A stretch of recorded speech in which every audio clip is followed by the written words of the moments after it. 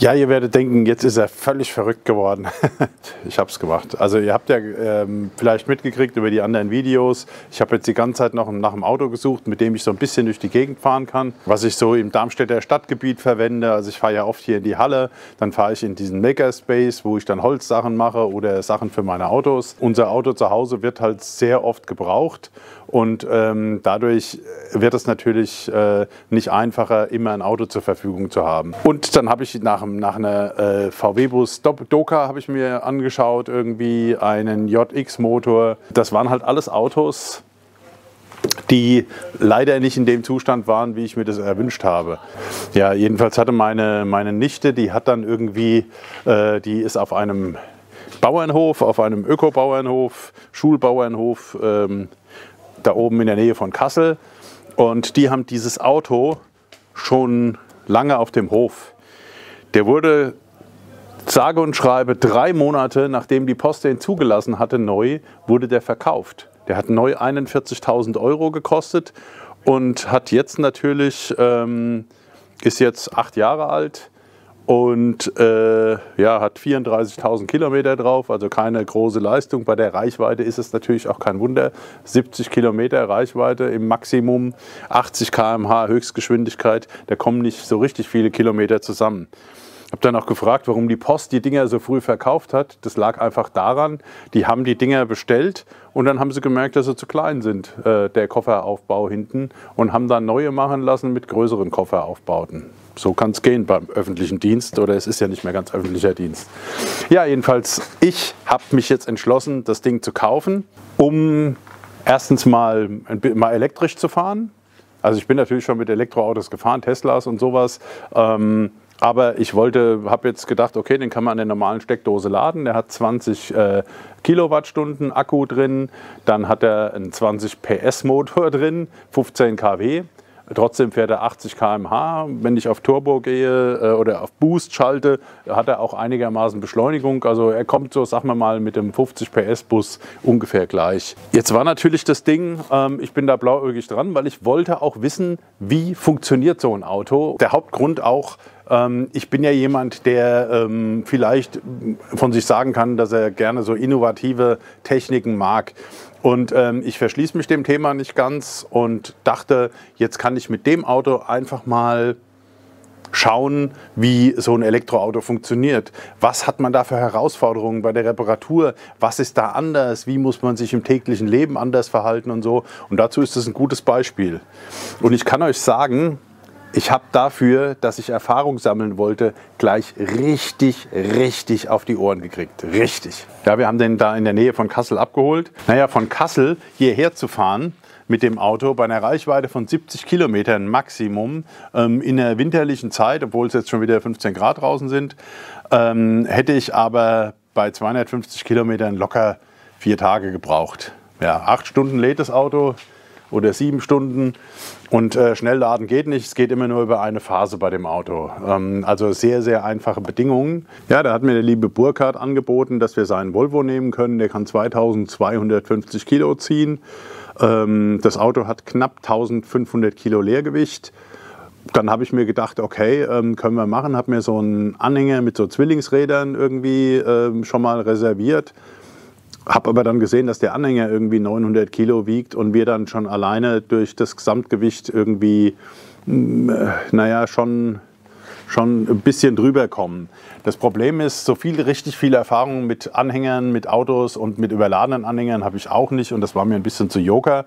Und dann habe ich eine äh, gute Freundin hier aus Darmstadt von der Autovermietung Seger. Die haben mir netterweise ihren, den haben sie intern, einen VW-Bus-Transporter mit, einer, mit dem Auflieger hinten drauf, wo man richtig schön drauf fahren kann, das Auto auch hochziehen könnte und sowas. Damit habe ich das Auto geholt mit meinem Sohn Lorenz zusammen und wir haben den da schön aufgeladen. Der sah zwar übel aus innen drin, der ist natürlich immer auf diesem Bauernhof gefahren und da ist es nicht so, dass da den ganzen Tag mit dem Staubsauger durchs Auto gegangen wird. Ganz im Gegenteil. Ja, und dann haben wir das Auto aufgeladen und sind dann nach Darmstadt gefahren. Das ging wunderbar, äh, war klasse. Wir sind da mal ein paar Runden gefahren. Dazu muss ich dann auch gleich sagen, das Auto hat zwei Jahre TÜV, aber scheinbar sind alle TÜV-Prüfer, die irgendwie Autos für ähm, Agrarunternehmen irgendwie abnehmen, auf beiden Augen blind und taub und alles drum und dran. Ja, wer diesem Auto TÜV gegeben hat, äh, und meine Nichte ist niemand, die da irgendwie in der Beziehung Beziehungen hat oder irgendwas macht, es muss dann die Werkstatt gewesen sein, aber wer diesem Auto TÜV gegeben hat, der gehört fast ins Gefängnis. Diese Bremsen sind derartig kaputt, ja, verrostet runtergefahren. Das ist unfassbar. Abgesehen davon, wenn ich hier in Darmstadt zum TÜV fahre, geht sofort, wird erstmal die Scheibenspritzanlage probiert. Die war hier vom Marder durchfressen. Ähm, die ging schon seit Jahren nicht mehr. Die Pumpe ist total fest und sowas. Ähm, es sind viele Dinge, dann wird innen drin ABS angezeigt, dass die Handbremse nicht gelöst ist, wird angezeigt. Also lauter Dinge, die eigentlich ein TÜV-Prüfer ähm, äh, bemängeln müsste. In dem TÜV-Bericht stand dann Mängel irgendwie leicht angerostete Karosse äh, Rahmen unten und leicht angerostete ähm, Bremsleitungen.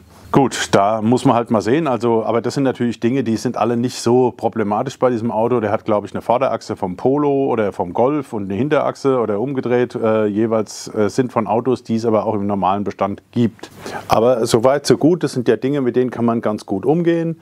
Und ich habe dann vorher mich schon mal im Netz irgendwie umgeschaut, was gibt es an Ersatzteilen. Das war sehr überschaubar. Aber ich dachte mir halt, okay, von VW die Achsen und verschiedene andere Sachen von anderen Dingen aus dem VW-Konzern, dann wird es ja nicht so problematisch sein. Naja, äh, wir haben das Auto hier abgeladen in Darmstadt, ähm, sind dann schon durch die Stadt gefahren und äh, rumgedüst. Es hat Spaß gemacht, war ein bisschen laut, muss ich sagen. Alles sehr dreckig.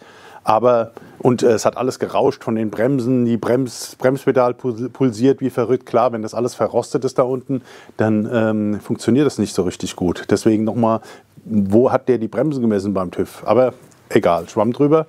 Ähm, das Ding kam dann erst. Ich habe dann gedacht, lasse ich das Auto mal zu. Dann ich, bin ich auf die Zulassungsstelle gefahren, habe das Auto zugelassen, alles wunderbar funktioniert. Und dann ist neben so eine Waschstraße, wo man so mit einer Sprühpistole das Auto sauber machen kann. Das habe ich dann auch gemacht. Habe aber auch extra unten nicht beim Akku so richtig reingehalten, sondern einfach hauptsächlich von oben mal den groben Dreck runter. Der ist seit acht Jahren nicht mehr gewaschen worden wahrscheinlich. Und habe dann äh, das irgendwie sauber gemacht. Dann bin ich eingestiegen und bin losgefahren. Und bin nach Hause gefahren, so etwa vier Kilometer, habe das Auto vor der Garage abgestellt, habe den Ladestecker reingesteckt und wollte nachmittags wieder losfahren. In dem Moment Zündschlüssel rumgedreht. Man muss, äh, der, die Fahrstufe steht auf Null. Dann dreht man den Zündschlüssel rum und macht wie ein Anlasser nochmal mit Druck hinterher. Und wenn man den mit Druck hält und die Bremse tritt, macht das ganz, macht das kurz piep, piep und dann läuft das Ding. Dann kann ich die, die äh, Fahrstufe auswählen, die ist dann beleuchtet und kann losfahren. Was ist nicht passiert? Dieses Beep Beep. Der hat mir gezeigt, 80% geladen, ähm, alle Systeme in Ordnung, keine Fehlermeldung, aber es kam dieser Piepton nicht und ich konnte keine Fahrstufe auswählen. Da fing das Problem an. Dann dachte ich, ach, gehst du mal zum Motor Talk, guckst du mal, ja, dann sehe ich, dass Street Scooter überhaupt nicht als Marke dort vorhanden ist. Dann habe ich trotzdem reingeschrieben, wer kennt sich mit Street Scooter aus? Ähm, das Ding springt nicht mehr an, habe das beschrieben. Und dann kriege ich von einem Moderator dort die Nachricht, ja, wir haben äh, sie zu Tretrollern und E-Bikes geschoben, weil sie sind da im falschen Bereich. Und dann habe ich denen erklärt, dass das kein Tretroller ist und dass es auch kein E-Bike ist, sondern das ist ein Auto und nicht mal ein Auto, sondern sogar ein LKW. Und ähm, dann haben sie es zurückgeschoben, der nächste hat es dann wieder zu E-Bikes geschoben und so. Jedenfalls kam da erstmal nichts. Dann habe ich gedacht, okay, jetzt guckst du mal nach Werkstätten hier in der Gegend. Ja, keine Werkstatt, nirgendwo. Ich habe dann geguckt, gibt es die Firma Street Scooter noch? Die ist ja aufgekauft worden, pleite. Ähm, oder die Post hat es ja in Grund und Boden gewirtschaftet. Äh, und dann hat aber jetzt einer der Gründer das Ding zurückgekauft. Aber es sind immer noch alle Daten im Internet wie vor fünf Jahren als gäbe es die noch und als wären die noch bei DHL. Ich habe dann versucht, über LinkedIn, über Xing irgendwelche Personen ausfindig zu machen, die mit diesem Unternehmen zu tun haben, damit mir irgendeiner einen Tipp gibt. Weil zwischenzeitlich habe ich das hier komplett zerlegt, habe hier alles aufgemacht, habe überall die Kabel nachgeguckt, habe sämtliche Sicherungen nachgemessen. Dann hat mir irgendwann einer habe ich eine, eine, Werkstatt erreicht, die auch so, so Scooter reparieren in Darmstadt. Und dann habe ich die angerufen und sagte, oh, das machen wir nicht. Das so Autos machen wir nicht. und dann habe ich ihr gesagt, naja, aber ich bin auf, haben Sie vielleicht irgendeinen, der mir einen Tipp geben kann? Sagt, ah, das ist schwierig. Aber ich kann Ihnen sagen, ähm, also ich will Sie hier nicht sehen und wenn Sie herkommen, dauert es zehn Wochen, bis das fertig ist und es wird nicht billig. Dann habe ich gesagt, Mamma mia, was habe ich da für ein Auto gekauft? Ähm, und ich gebe ja da nicht so schnell auf. Und dann habe ich weiter das Internet durchforstet nach Fehlern und es gibt von diesem Auto nichts. Das ist, scheint ein sehr, sehr seltenes Auto zu sein. Ich habe dann andere Werkstätten. Es gibt einen Bosch-Dienst extra für E-Autos in Funkstadt. Den habe ich angerufen, habe gesagt, machen Sie sowas? Sagte, ah, wir haben momentan gar keinen ausgebildeten Hochvolt-Techniker im Haus. Also können Sie es nicht machen. Aber rufen Sie mal in Groß-Gerau an. Dann habe ich in Groß-Gerau angerufen, der war sehr nett. Aber der hat gesagt, nee, nee, wir können das auch nicht. Oh, das Auto hatten wir noch nie und ähm, da müssen Sie irgendwo anders hingehen. Dann habe ich wirklich überall, die haben mich behandelt, als hätte ich ein russisches Atom-U-Boot, ein gebrauchtes, wofür ich jetzt eine Reparaturanleitung will oder Hilfe haben will. Also war völlig illusorisch. Es hat mich so ein bisschen erinnert, wie ich als 20-Jähriger äh, ein Datsun Laurel gekauft habe. Das war ein super Auto, war nicht so teuer, ein äh, Sechszylinder, nee, ein 2 Liter war das, genau, war ein super Auto. Aber ich konnte nicht einfach zu einem Ersatzteilladen gehen und sagen, ich brauche mal ein paar Bremsen, ich brauche mal eine Kupplung oder irgendwas. Nee, ich musste dann überall hin. Die haben alle zu mir gesagt, gehst du am besten nach Tokio auf den Schrottplatz und holst dir da irgendwie die Teile. Und dann habe ich gesehen, dass ich für die Teile das Zehnfache bezahlt habe, wie für einen VW Käfer oder für irgendwas. Das, und so fühle ich mich jetzt genauso. Und ich stand da wirklich, habe dann das ganze Auto zerlegt und habe überall geguckt und habe dann diesen Marderbiss an dem Schlauch gesehen, habe diese überall gesehen, ob da vielleicht was in den Akku gelaufen wäre und so. Also ich war völlig überfordert. Die Frau sagte mir aber bei der Firma Emo, vielen Dank nochmal, ich soll doch einfach die Hauptbatterie, die 12 Volt abklemmen aber das muss mindestens eine Stunde abgeklemmt sein und dann würde sich das Ding resetten und dann wäre meistens der Fehler weg oder solche Fehler. Das habe ich dann gemacht, hat nicht funktioniert. Dann habe ich mal über Nacht die Batterie abgemacht, hat auch nicht funktioniert. Und ich habe schon überlegt, wie kann ich das Auto abschleppen lassen, weil ähm, so hinten dran ziehen ist auch nicht mit den Elektroautos so richtig einfach. Und äh, ich äh, habe mir echt einen Kopf gemacht, an was das liegen kann. Dann kam mir nachts die Idee, es könnte ja hier dieses Teil sein. Dass ich, ich habe ja geladen und ich dachte, hier ist vielleicht irgendwo so ein kleiner Schalter mit drin, der das Auto lahmlegt, solange es lädt, damit keiner mit dem Ladekabel im Auto losfährt. Aber ich habe dann hier alles durchgelesen von Mennekes. Das ist eine der meistverwendeten Ladebuchsen. Ähm, da ist aber nichts mit Autounterbrechung. Also Puste, Kuchen. Ja, und dann habe ich echt überlegt, was kann das sein und habe auch, da gab es eine Werkstatt in Hambach, die haben die meisten Autos von Street Scooter repariert. Da habe ich dort angerufen und ähm, dann war eine, eine, sehr, sehr schlecht gelaunte äh, Sekretärin da am Telefon. Nee, nee, machen wir nicht, machen wir nicht. Und habe gesagt, Sie müssen doch irgendeinen Techniker haben, der mit den Autos mal gearbeitet hat. Den will ich einfach nur was fragen. Und dann hat sie mir jemand gegeben und dann äh, war der auch, ja, Sie müssen Starthilfe machen. Dann habe ich gesagt, das ist eine ganz neue Batterie drin, 12 Volt, da brauche ich keine Starthilfe. Außerdem habe ich es probiert. Ja, da kann ich Ihnen auch nicht helfen. Wir machen das nicht mehr, danke, tschüss, buff, aufgelegt. Da stand ich echt da und habe gesagt, kann ich jetzt den Akku hier ausbauen und vielleicht fürs Haus als Stromspeicher nehmen oder sowas? Äh, ist so schnell die Geschichte vorbei mit E-Scooter-Auto oder mit E-Auto fahren? Ähm, also ich bin dann sehr schnell auf den Boden der Tatsachen zurückgekommen. Es gibt kaum Videos bei YouTube über dieses Auto. Außer jetzt von einem, der das Ding gekauft hat und zeigt, wie man damit fahren kann. Aber technisch äh, ist da nichts erklärt. Es gibt nichts. Es gibt nichts über dieses Auto. Und äh, da war ich schon relativ verzweifelt. Und dann habe ich das gute alte Facebook, wo so alte Leute wie ich es sind, sich rumtreiben. Aber ich bin da sehr, sehr selten. Und dann dachte ich, gibst du einfach mal einen Facebook Street Scooter ein. Und was finde ich? Ich finde eine Gruppe Street Scooter. Ja, da bin ich da rein, habe mein Problem erklärt und so und ähm, habe dann einfach mal angefangen durchzuscrollen. Das war auch überschaubar, was da insgesamt drin stand, aber da stand was drin von einem Affengriff. Und der Affengriff setzt die, das Hauptsteuergerät, resettet das Hauptsteuergerät. Naja, was habe ich gemacht? Ich habe mir, hab, hab mir das ausgedruckt, bin raus. Das heißt, du steigst in das Auto ein, du trittst die Bremse durch, du trittst, trittst das Gaspedal durch, dann machst du die, du musst die Fahrertür offen lassen, das ist wichtig. Dann drehst du den Zündschlüssel auf Anschlag und mit der anderen Hand oder andersrum drückst du den, die, die Fahrstufe auf D. Das hältst du einen Moment, dann machst du die Zündung aus, während du mit den Füßen weiter auf den Pedalen bleibst und den Hebel gedrückt hältst, machst die Zündung aus, hältst den Hebel für etwa fünf Sekunden und dann hörst du ein lautes Klacken unter dem Fahrersitz. Und dann ist das Steuergerät resettet. Das habe ich gemacht. Und danach ist das Auto wieder gelaufen. Wahnsinn. Das ist echt so ein Ding. Ähm, ich habe mir das sofort ausgedruckt und gleich in die Papiere reingelegt, weil in der Bedien Bedienungsanleitung von dem Auto steht fast unter jedem Punkt drin, außer beim Scheibenwischwasser wechseln, dass man in die Fachwerkstatt soll und soll dort nachfragen ähm, oder sich das machen lassen. Ja, jetzt kennt ihr die Randbedingungen von dem Auto. Ähm, was ich super finde, dieses Auto sieht eigentlich, obwohl es misshandelt wurde die ganze Zeit, was heißt misshandelt, aber halt nicht gepflegt wurde und auf dem Bauernhof war und bestimmt viele Sachen abgekriegt hat, sieht es noch relativ gut aus. Das liegt aber daran, das hier ist Kunststoff, das ist Kunststoff, Kunststoff, Kunststoff, Kunststoff und das ist durchgefärbter Kunststoff. Das heißt, wenn hier ein Kratzer drin ist, dann wird es nicht weiß oder irgendwie Farbe geht ab, sondern einfach, dann ist halt ein Kratzer im Kunststoff, der nicht zu sehen ist. Und das ist eine richtig, richtig gute Entwicklung von diesem Auto. Jetzt schauen wir vielleicht noch mal ähm, insgesamt. Ich hole noch mal die andere Kamera raus. Gucken wir uns das hier an. Das ist die Haube. Die Haube ist ähm, festgeschraubt. Die ist hier mit zwei Schrauben fest. Ähm, das hatte ich auch schon ab.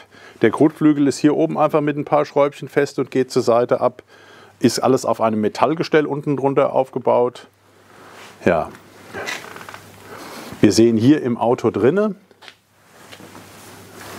Mal ein bisschen Licht an. Wir sehen jetzt hier im Auto drinne, die Sitze sind natürlich sehr schmutzig. Hier haben wir unser Armaturenbrett. Ich habe es jetzt alles schon mal ein bisschen gereinigt. Das ist alles natürlich hier richtiger, richtiger Kunststoff. Ähm, und klappert natürlich ein bisschen, da muss man ein bisschen nacharbeiten. Aber aufs, auf die Details gehe ich dann nochmal mit euch ein. Ja, hier so sieht er von der Seite aus, hat dann noch die alte Post. Reklame drauf. Ohne hier oben stand über dem Go Green stand dann natürlich Deutsche Bundespost. Da habe ich überlegt, ob ich dann Deutscher Bundesrost draus mache oder sowas, aber das hat noch Zeit. Erstmal muss das Auto irgendwie in die Reihe geschafft werden. Also man hat hier eine schöne, hat an jeder Seite einen Zugang. Hier kann man, das ist ein elektrisches Schloss zum Öffnen, automatisches Licht, was da drin angeht. Und viel Ladefläche, zweimal 1,80 Meter, glaube ich. Also das ist schon ganz anständig.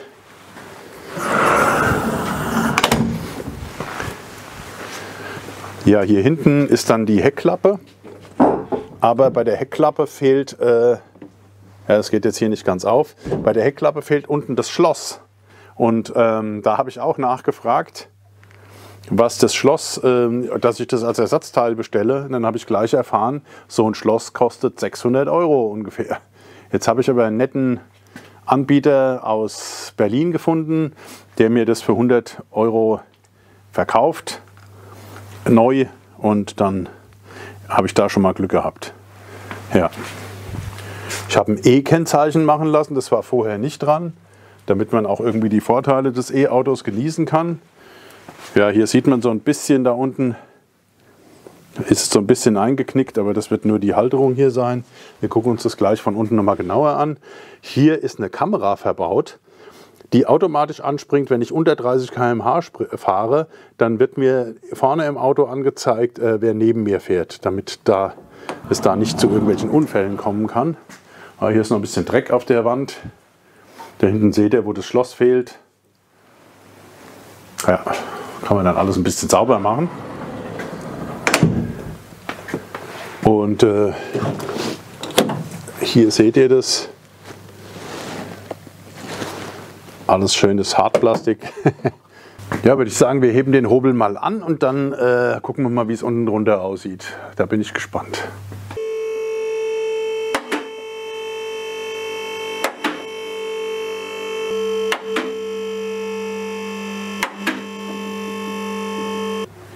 Okay, hoch geht er schon mal. Dann schauen wir doch mal Kein Öl.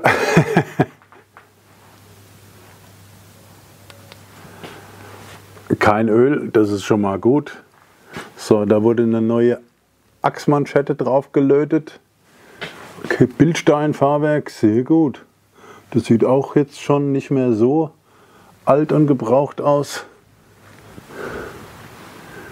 Aha, da oben könnt ihr mal sehen, da ist dann der Lüfter für den Spannungswandler. Ja.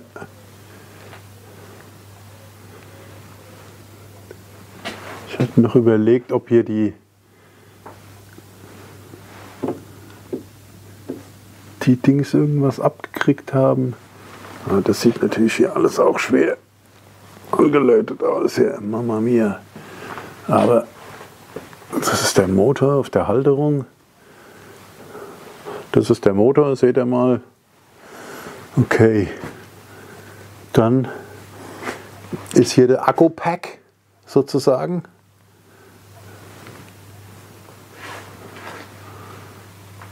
Das sieht aber ganz ordentlich aus. Bisschen angerostet, das heißt, der wird mal ein bisschen abgeschliffen und sauber gemacht. Hier haben wir jetzt, äh, Moment, ich muss nochmal die Kamera, die Hinterachse ist so ein bisschen, hat die natürlich Rost dran, da oben am Rahmen ist Rost dran. Hier ist die neue Batterie. Da oben das Teil, das hier, das ist ein äh, Notöffner, äh, wenn mal hier die Batterie aus ist, dass man oben die Schiebetüren aufkriegen kann. Was das ist, kann ich gar nicht sagen. Das wird wahrscheinlich zum irgendwas sein. Die Bremsleitung hier, guckt man doch mal da, wie die aussehen. Oha. Ja gut, aber das sieht eher wie Dreck aus, aber das... Ja. Also der TÜV in Darmstadt hätte das nicht durchgehen lassen. Okay. Aha. Ja, ihr seht, das ist alles relativ einfach aufgebaut, wie ein LKW.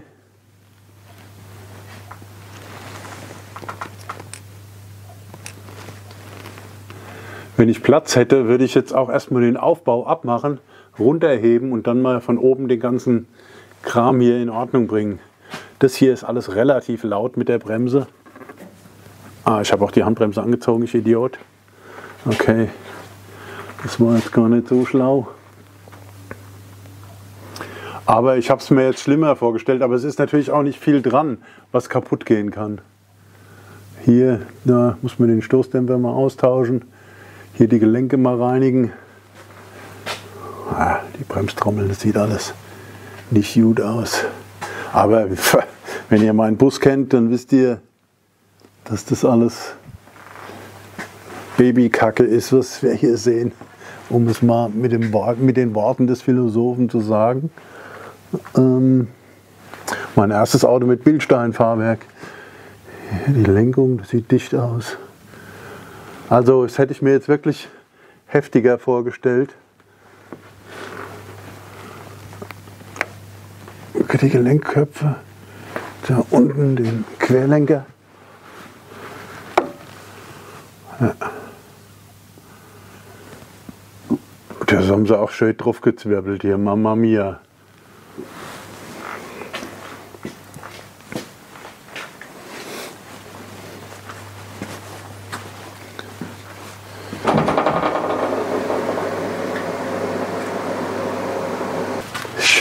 Schalalalalalala. Lass mal nochmal auf der Höhe, dann kann ich die Räder mal abnehmen.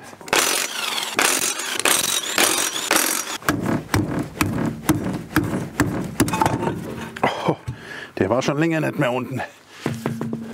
Naja, die Brems ist, also die Bremsscheibe ist soweit fertig.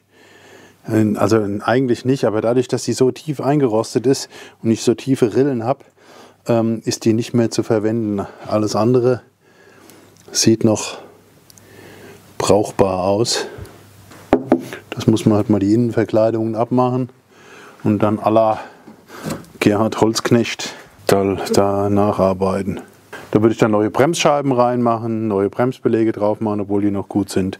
Aber die sind ja wahrscheinlich genauso eingefressen wie der Rest von dem Ding. Dann machen wir mal das Rad auf der anderen Seite ab. Machen wir mal auf.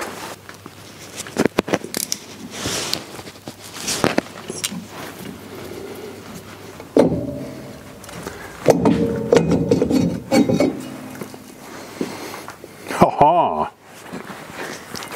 Also, die Bremsen hinten sehen gut aus. Ähm, das ist schon, schon ordentlich gemacht. Schon ordentlich gemacht, kann man nichts sagen. Da hat doch einer was gearbeitet. Guckt mal hier. Neue Radbremszylinder, neue Federn.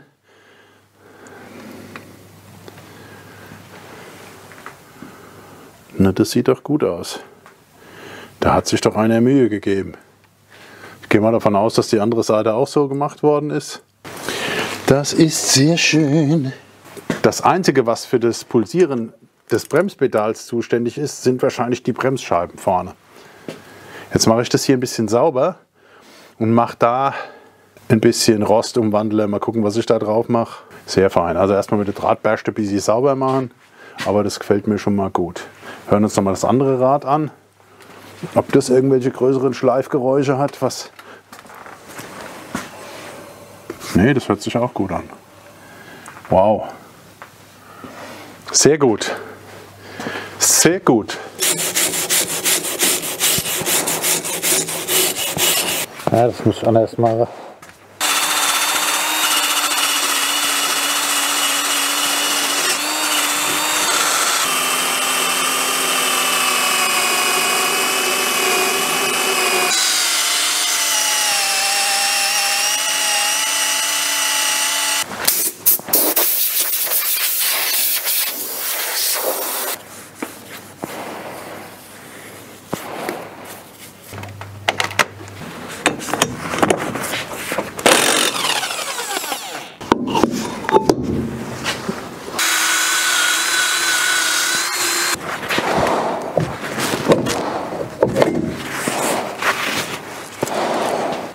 Na, das sieht ja auch nicht sauber aus darunter.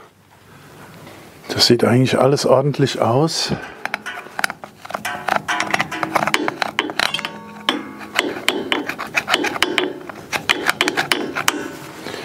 Müssen wir mal die, die Bremse ausblasen.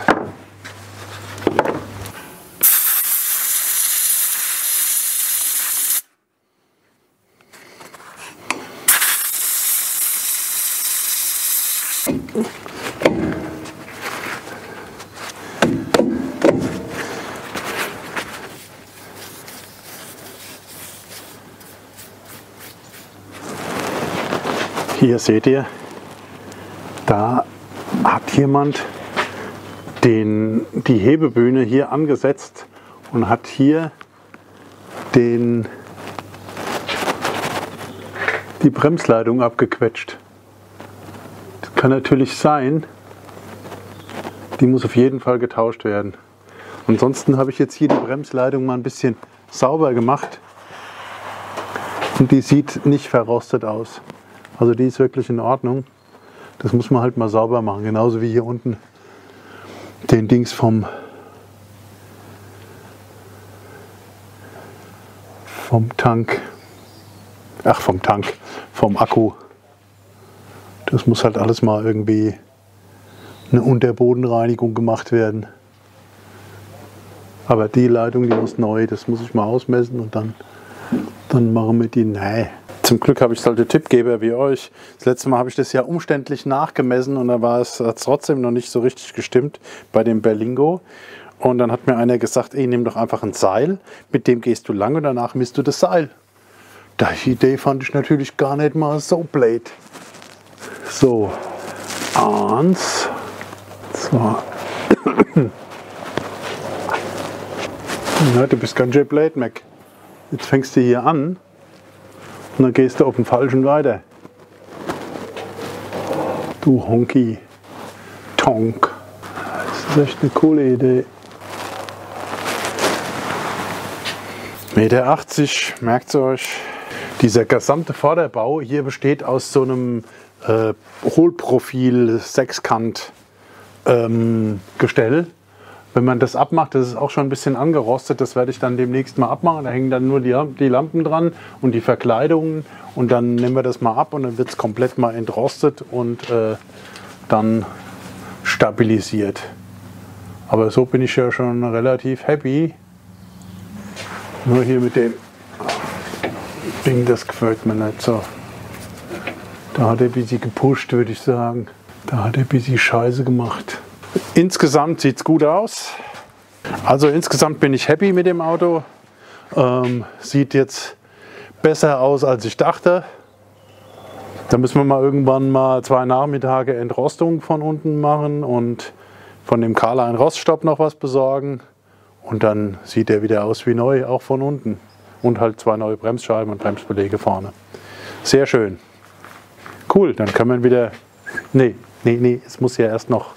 Ähm, mir müssen ja erst noch die Räder drauf machen, weil ohne Räder ist scheiße.